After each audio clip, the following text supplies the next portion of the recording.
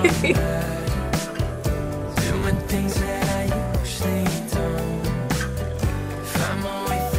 is the tropical twin organized religion doesn't Okay, now we got this.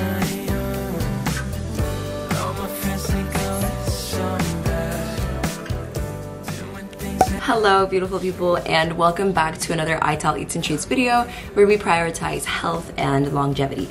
So today you can see my hair is different. I have my hair twisted up because I low-key want to get locked so I'm just kind of like testing it out. I'm about to wrap my hair up in the scarf because I'm gonna be filming a couple of recipes today, but yeah, I just thought I would take you along with me on a day in the life as a food blogger. So I'm gonna be recording two recipes. I'm gonna be recording a Jamaican green banana plantain porridge and a vegan lasagna that is soy-free and everything. Everything will be on my website, www.italeatsandtreats.com. So I'm about to go make myself some breakfast before I start recording because who wants to work on a hashtag empty stomach? So let me wrap up my hair and show y'all how that's gonna look.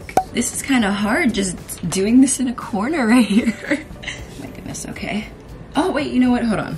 Okay, that's better. So I put in this little butterfly bead thinking that I was a cute 90s girl, but hopefully I don't look like a 12 year old. Anyways, as I was saying, um, I'm about to go downstairs and make my breakfast. It's gonna be a green juice and um, I got this super cool fruit box from this fruit company that uh, has fruit, tropical fruit in southern Florida and of course I am so excited because I am hashtag Jamaican. So of course I love my tropical fruit. So I'm gonna have a little fruit bowl on the side with that as well. Before I go downstairs and start making food, oh my gosh, I don't know how to hold the camera. I wanna show you all this book I've been reading. So this is the book. It is called Bach Flower Therapy. And it's basically just how to heal yourself. You can heal like different things physically, but it's mostly for mental, like therapy, talking about the mind and everything, healing yourself with flowers. So long story short, I started flower therapy like two years ago because I was like really ready, hashtag trigger warning, to get onto like anti-anxiety or depression pills, um, antidepressants, but I wanted to remain just, you know, indigenous and more holistic. So I'm so glad I started to learn about flower therapy.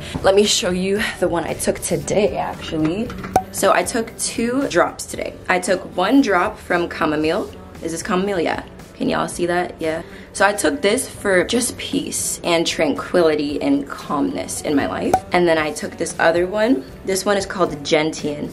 So this is about focusing on your faith with God and faith with a higher power. And as a spiritual person, I definitely need to, you know, rebuild that strength with God because even though I don't really belong to an organized religion doesn't mean that I don't believe in God. I can link that below. I can link the book below as well as these flower drops. I'm not like a therapist or a doctor, whatever. Okay. Oops. I'm just saying those really, really helps me out during a really hard time and they also helped me out today when I woke up on the wrong side of the bed and I want to be more calm. So anyways, I'm hungry. Let's go get some tropical fruit.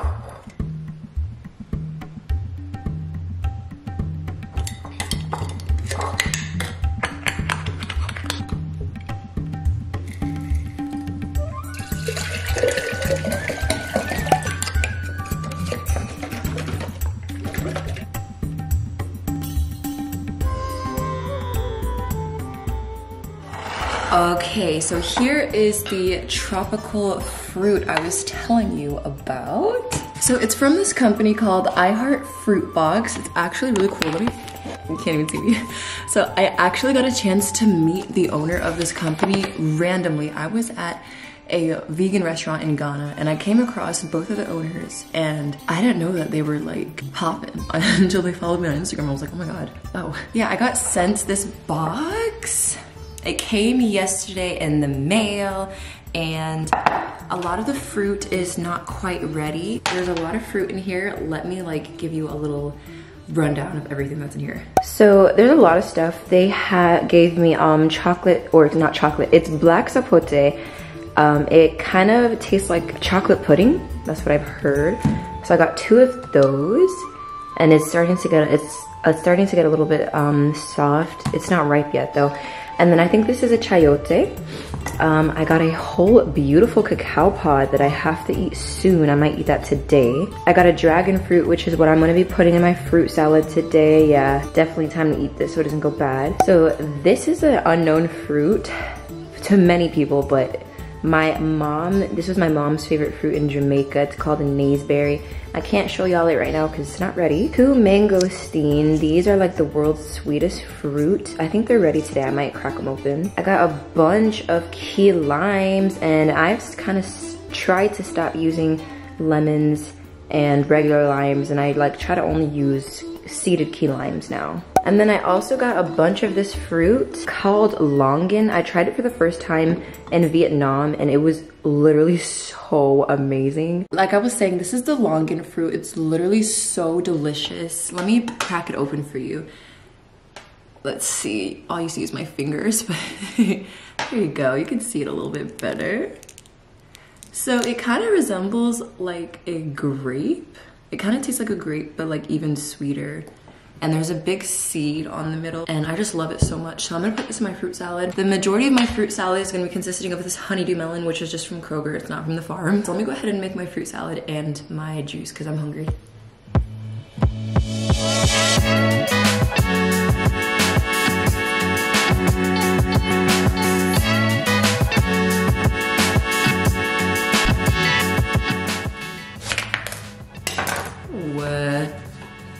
Yes, ma'am.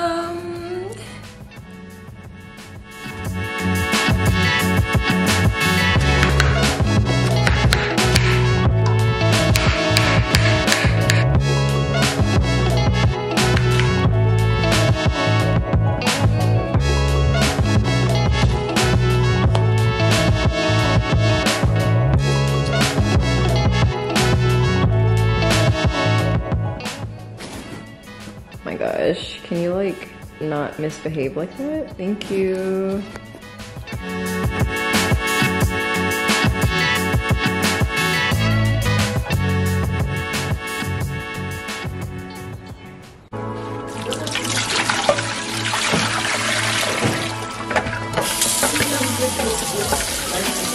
I know, it's like it's not even spring. Oh, by the way, the apples are not ready.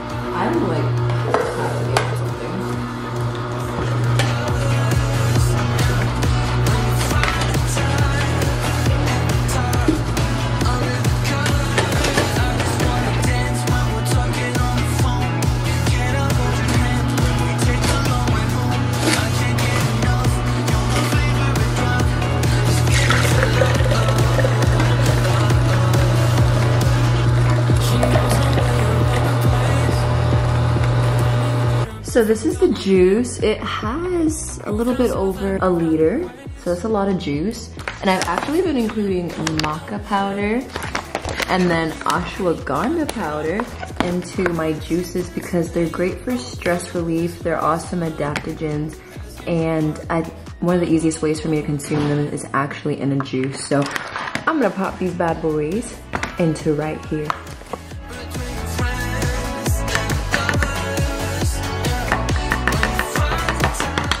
I'm also gonna put a little bit of sea moss for immunity boost.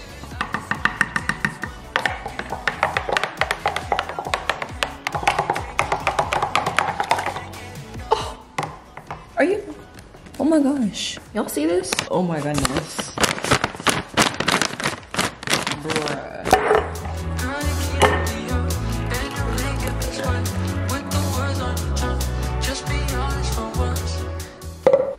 Cheers. Okay, that's good. So now I have to make some vegan homemade coconut condensed milk. I wanted to use regular, like homemade coconut milk, not from a can, because a lot of these canned coconut milks have like un unnecessary thickeners and gums, and I don't want that in my diet. But unfortunately, yesterday I tried to make the coconut condensed milk with just regular homemade coconut milk and it was too watery and it didn't work. So I have to do a recipe today and I have to have perfect condensed milk, so I'm just gonna make it really quickly while I'm eating my breakfast. Oh, also, if you want this recipe, it, the full thing will, is on my website and on my blog, and will be linked in my bio. Oh, you cannot be for real. It's so thick.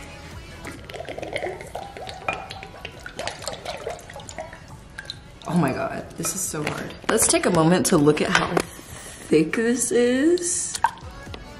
Oh my gosh. A fourth cup of cane sugar. And you're just gonna cook that down until it's like halved in size on the stove. Should take about 20 to 30 minutes. See that the coconut condensed milk is basically ready and it's gonna get a lot thicker when it's cooler but it's more than half in size so I'm gonna go ahead and get the ingredients ready for the green banana porridge.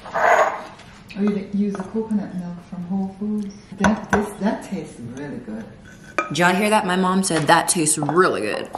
So, I'm making a video. so this is about like half of a cup of homemade coconut condensed milk. You can't really find this at the grocery stores. It's very hard for me at least. So I like to make it on my own. It's affordable, cost effective, and I can make as little or as much as I want. I'm gonna go ahead and start to make this green banana porridge recipe. Okay, now we got this big old coconut that I'm about to go and break outside. But before I break, I'm gonna try to start saving the water and the coconut. Somebody was roasting me on my Instagram saying, why did you save the water? So I'm gonna try to poke a hole in here and drain the water before I like smash it.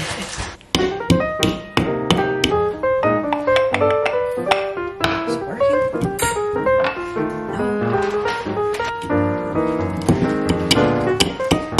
I think I got it. You can see that hole right there. Let's try. Okay, she's a little slow, but it's happening. It's happening. there we go. I'm not gonna drink it like that though because there's like floaty stuff in there, so we still got it.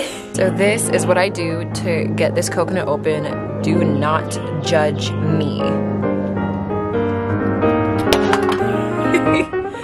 yes, yeah, work.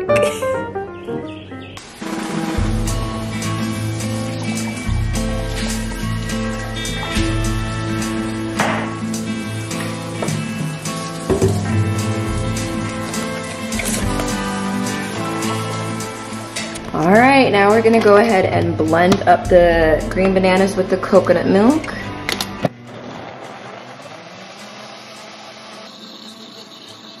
Oh my gosh, I'm measuring the seasonings for the porridge and my spoon just fell in.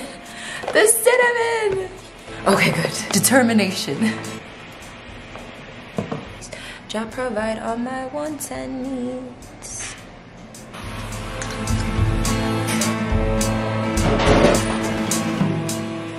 All right, people, so the green bananas have been chopped up. These are actually alkaline Dr. Sebi approved burro bananas, so they looked a tad bit different. I love these bananas, I prefer them over any other type.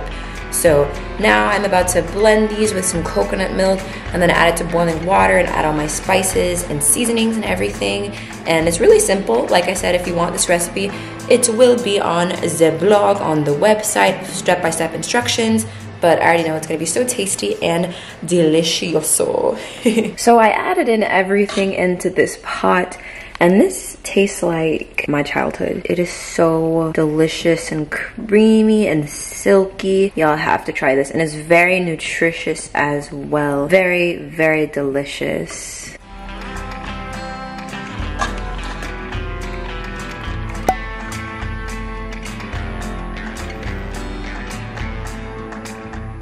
All right, beautiful people. So I am just now tasting the porridge and it is, like I said, so delicious. Mmm. It's so creamy. It literally tastes like my childhood. So my mom only made oatmeal porridge or cornmeal porridge for me growing up. But when I went to Jamaica by myself in 2020, I've had all different types of porridge. Bulgur wheat porridge, cornmeal porridge, peanut porridge, green banana porridge, plantain porridge. So many different types of porridge. So I've just been experimenting a lot more lately and this is so freaking delicious. Like I said, if you want the recipe, it's on the website, and I feel like you're gonna really wanna try those.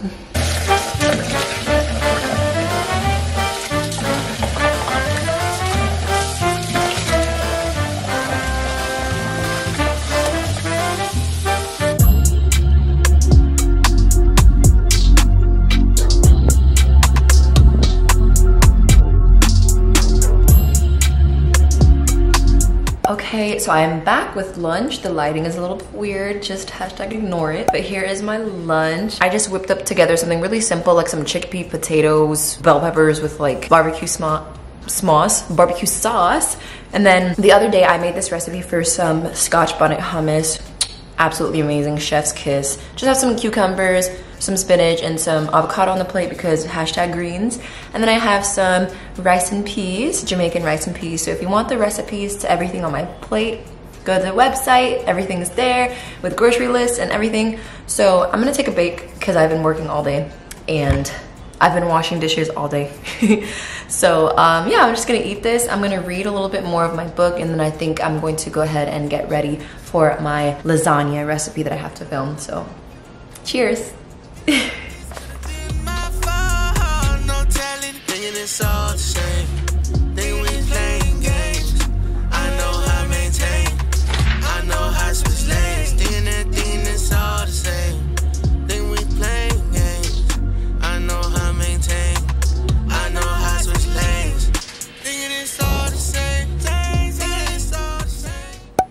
beautiful people. I actually didn't even get a chance to read anything because I had to get their next recipe ready, but I'm tired, I'm cold, but we gotta get this done. I'm about to boil these lasagna noodles and then get my um, walnut meat sauce ready and then get my cashew cheese ready as well.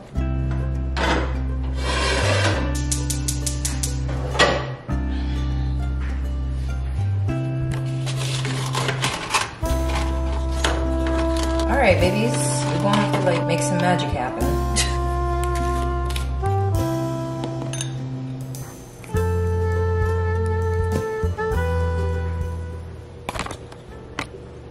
Seasonings for my walnut taco meat. Well, not taco meat, you know, like lasagna meat, you know.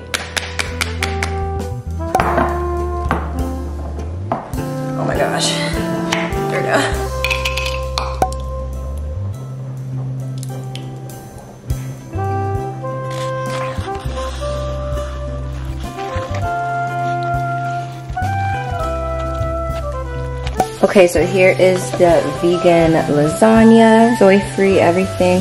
I'm gonna go ahead and put some aluminum foil on top of it and let it bake in the oven at 350. In the oven you go.